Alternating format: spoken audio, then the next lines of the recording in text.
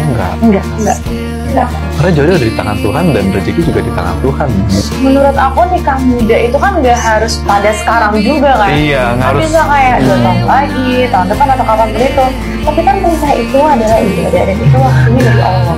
Kalau misalkan jodoh kalian sudah di hadapan kalian dan kalian peka dengan God sign dan niat kalian baik, insya Allah rezeki itu makin ada. And I feel like the biggest achievement as a woman is becoming a mom and a good wife. So I think it's never been a problem untuk nikah. Yes. Bentar langsung nikah. Karena kisah cinta yang sebenarnya itu dimulai setelah nikah.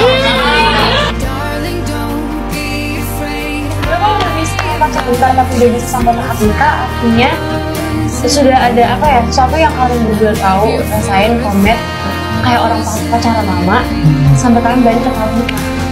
Nggak? Betul. Kita sama pacaran lama, dari kan nikah itu kayak dulu kita kenalan terus aja dulu, Mm-mm. kita naikin diri kita dulu, terus udah gak tahu nanti nikah apa enggak. Iya, karena setelah menikah juga masih saling mengenali gitu ya guys ya.